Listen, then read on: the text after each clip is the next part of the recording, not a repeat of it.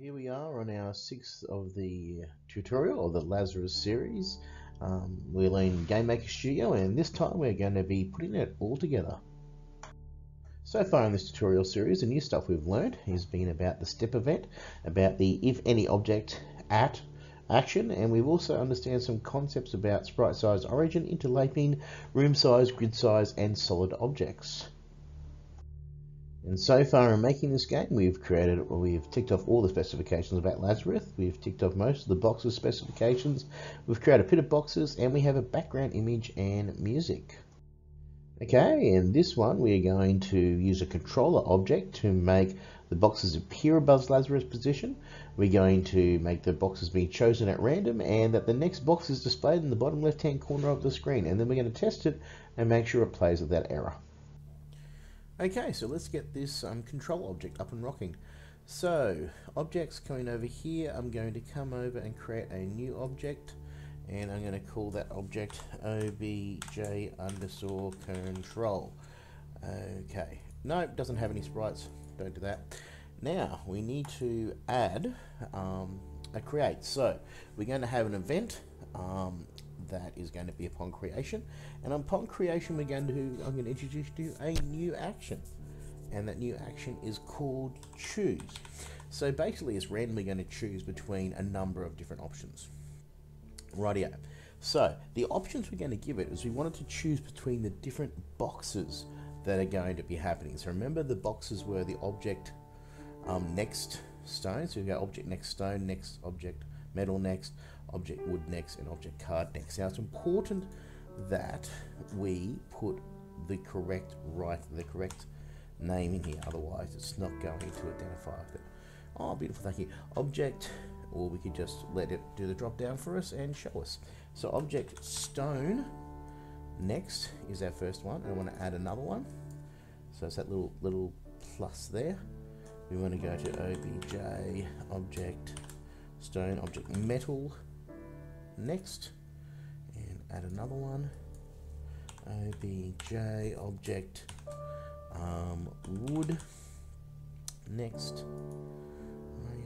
And add that into oh sorry object not object wood object wood.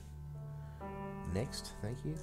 And obj object card. Next. Now, it's going to choose one of those four objects randomly between them, and we need to assign it somewhere. So I'm going to assign it to a temporary variable called box. Okay, so what's going to happen upon the creation of the object controller, it's going to choose one, two, three, four of those, one of those four, and then assign it to the object box. Now, the next thing we then need to do is we then need to create a instance of whatever is in that variable box. So I'm going to choose, uh, we need to create an instance. So here, create instance, instance of, and I'm just going to choose box, which all lowercase, make sure it's spelled correctly. Box, are you happy with that? Oh, it's going to be happy with it. Right, it's going to create the object box, whatever is stored there. Um, okay, so we're going to create the object box. We're going to position it, and what we want to position is down the bottom left-hand corner, which is zero. X is zero, but the Y. Well, remember our. Let's have a look at our room, and our room, room zero Remember the size of our room? We made it 1040 by 800. So we wanted to be down this bottom corner here, but we want to be at this point here, which is actually 0760 because it's 40 points up from the 800. So let's go back to the workspace and hide you away. And so we want it to be an X of 760 Awesome. No, not relative And the layer. Well, what layer are we going to put it on? So let's go back into the room and have a look. We've got box layer, which I put in there before. We want to put on because we want it to actually sit above the wall. We want it to sit above here because otherwise it will disappear. So we're going to put it onto the box layer, which is just capital B O X. Remember, we've got to get the, the actual right, and it has to be in inverted commas.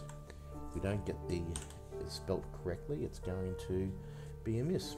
Okay, so it's going to, upon creation at the very beginning of the object controller, it's going to randomly choose one of these four um, next objects and it's going to position in the bottom left hand corner of our screen. So the next thing we need to do is we we need to now look at a concept which is called a um, is called a flag variable or a machine state variable. So what we need to do, we need to keep a record of whether or not there's actually a box falling down. Let's go in the room, we've got a box falling down here. We don't want other boxes to appear. So I only want the box to move from here up to here when there is the boxes have stopped falling. There's no currently falling box. So let's go back over to here and we can create a little variable to do that. And to do that, I need to assign a value, assign a variable. So let's see. Variable. Um, assign a variable. So I need to assign a variable upon creation. The variable name is going to be called falling box. Right? And I'm going to assign it the value of 0. For us, 0 means there's no falling boxes, and if their value is 1, then it's going to be there is a falling box. Okay, so that's our creation event. Um, the next event we have to do is a step event. So I'm going to add event, and I'm going to put step in, which we've used before, and basically each step it's going to check and see whether there's a falling box or so, or whether the variable falling box is yeah, where there's a falling box. So first off, I need to say an if variable, which is here, and that variable is called falling box. If falling box is equal to zero, so um, so if falling box is equal to zero, so i.e. there's no boxes currently falling, then what we need to do then, we need to check a few things first. So we need to check what's called check instance. So I'm just going to move him over there a little bit. So we need to see first off whether, so I'm just going to go, where's my instances, and where is check instance? Uh, if instance exists, yes. If instance, so we first off need to show, show if there's no boxes falling, we first off need to see if there is an object Lazarus um, standing, so i.e. whether he's he's there, right? Whether he still exists. So we're checking for an object of object Lazarus standing. Okay, so if the instance exists of object Lazarus standing, so if there's an instance of, if there's no boxes falling, and if there's an instance of Lazarus standing actually being on, still in the screen, then we need to then take whatever boxes the bottom left hand corner here, which whether it be stone, metal, wood, or card, and we need to change it into uh, a falling one. So now we need to go and check instance. So check or um, sorry, change instance. Sorry, my bad. Change instance. Rightio. So change instance, and what we're going to do is change the instance of um, every instance of object, just to make a bit more room here, every instance of object stone next, be down easier down here, object um, stone next. So change instance, every instance of objects, object stone next to object stone falling. Done. And we need to do the same for the other ones. So change instance to every instance of object metal next. Uh, no, that's wrong. Object metal next here, and in here that should be object metal falling. Right, we need to change every instance of object wood next to object wood falling. And finally, we need to change every instance of object card next to, oh, up here, sorry, object card next to object card form. Jeez. Okay, so let's just run through that briefly and see if it makes a bit of sense. So what actually happens here, first off we check, is there any falling boxes? No, there's not. So if there's no boxes currently falling, and if there is still Lazarus in the game, then we need to change every instance of any one of these. Now remember, there's only one box in the bottom left hand corner. There's only one box next. And it may be stone, it may be metal, maybe wood, maybe card, but there's only one. So whatever's down here gets changed into a falling version of it. And it starts falling down the screen. So then, once we've done that, we then have to, the next box is missing, so we need now need to, again, choose another um, box to go down there. So we need to go, um, what was it again? It was to choose. It's missing from there, so just choose, right? So you choose again. Option one was obj object um, stone next plus obj metal next plus obj wood next plus obj and just as we did previously in the create one we need to assign that to the box variable. So let's see. Into the box variable. Yeah that's right.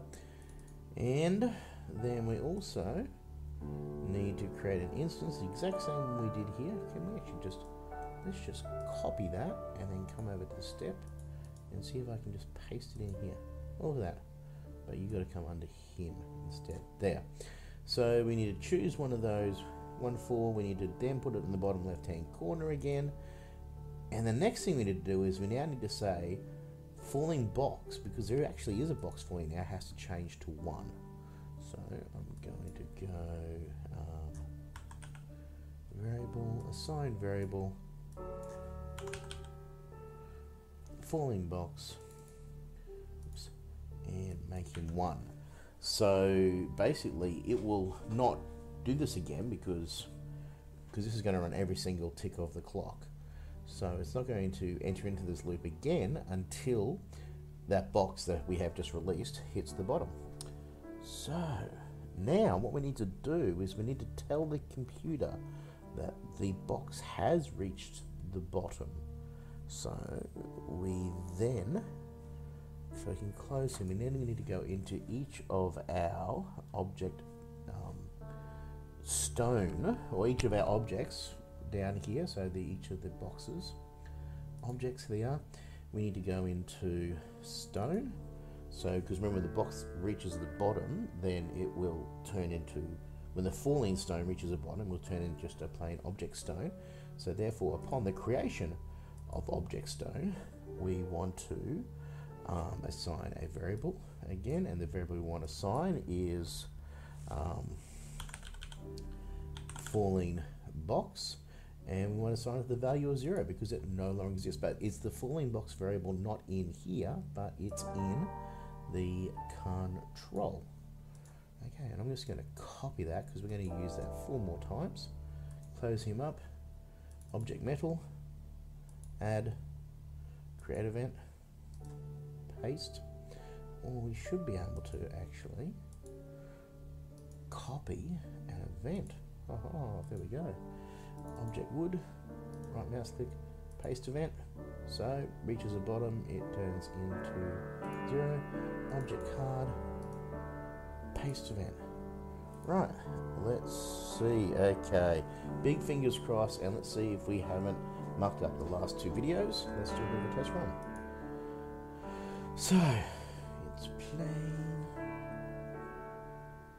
And I'll bring him up here, and nothing's happened. Hmm. That's not a good sign. Let's see if I can work it out. Oh, of course, nothing happened because we haven't put the control event into the room. So, into the room, bring control event up here. For some reason, grids changed back to 32 by 32, so come up to here 40 by 40 and keep it as that.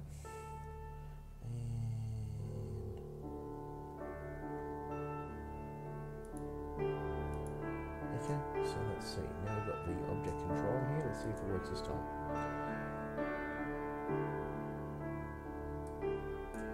The box down here, but the box isn't.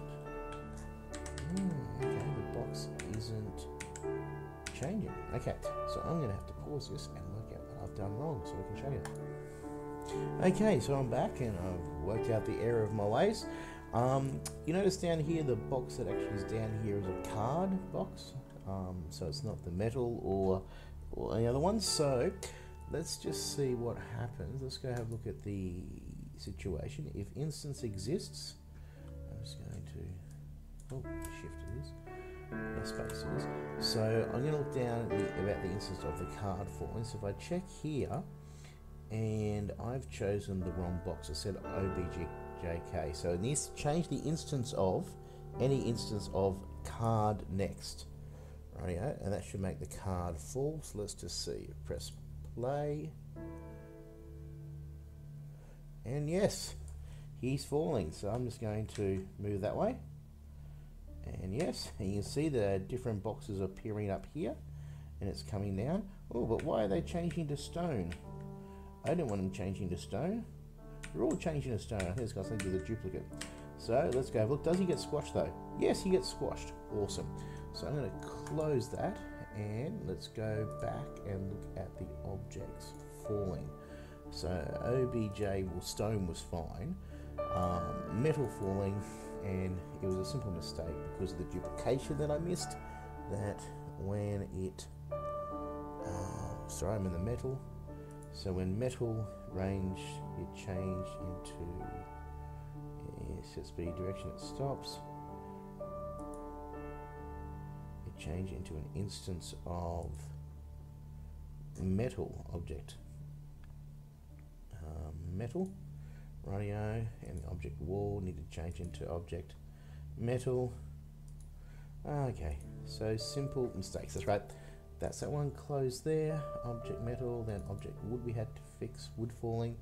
So where the object was stone that's right. Now if you hit stone it should change into because it's the wood that's falling it should change into object wood. There we are. And object here should not be object stone should be object wood object wood should change into object wood and object card should be destroyed. So make sure and check that metal here. I think I missed this one here. Metal, metal, metal, destroyed.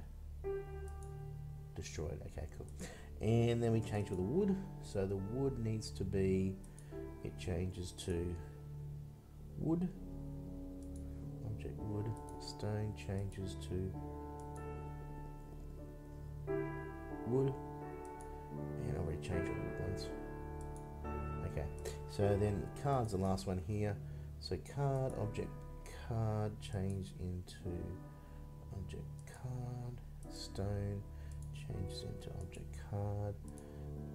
Um, object wall changes to object card object wood changes to object card and object card changes to object card and extra brownie points if you guys managed to work that out in the last video that I made a mistake.